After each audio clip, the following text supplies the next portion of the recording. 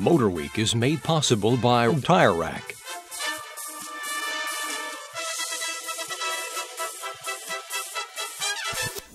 Now, the new Taurus and Sable mean more than one first for Ford.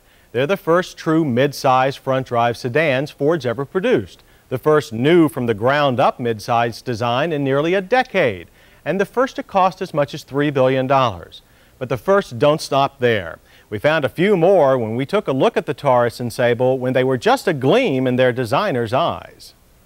This is another gleam in Ford's eye, their Probe 4 research and development vehicle, a design dream machine. This, of course, the Ford Taurus. This is how a Ford artist treated the front end of the final Taurus and Sable designs, and these are the final designs. Obviously, the Taurus and Sable go a lot further than any other new Ford in bridging the gap between the designer's dream and a consumer's reality, which leads us to another first. That with the radical lines of the Taurus and Sable, Ford has, for the first time in decades, solidified its place as a real Detroit styling leader. The cars look progressive, and the ideas and planning that went into them were too. Codenamed DN5, the Taurus Sable project was the first at Ford to use the team design concept. A small group of designers worked together on the project from beginning to end.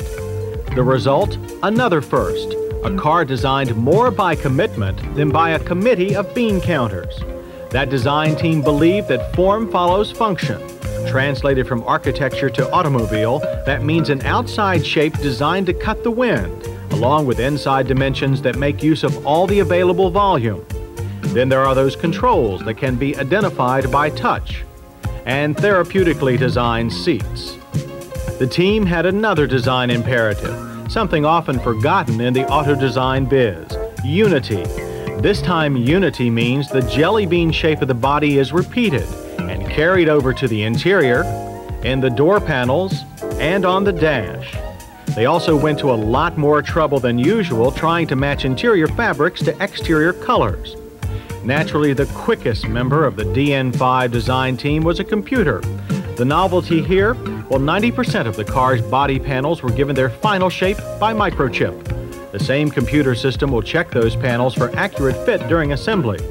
Speaking of which, much of the Taurus Sable assembly is of the modular variety, and much of that performed by robots. That makes the DN5 assembly Ford's most technically advanced. But when it came down to testing, there's no better way than the old-fashioned way, taking prototypes out on the road.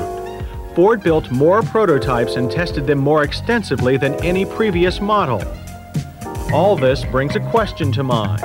Why all this progressive development from a company that's been known most for its yawn-inspiring pressed and folded four-door sedans? Well, Ford's new, young-thinking management has a lot to do with it, and the company wanted to do something radical to keep up with the demanding American car buyer. We think they've done it and in the process significantly up the ante for new car first from everybody else.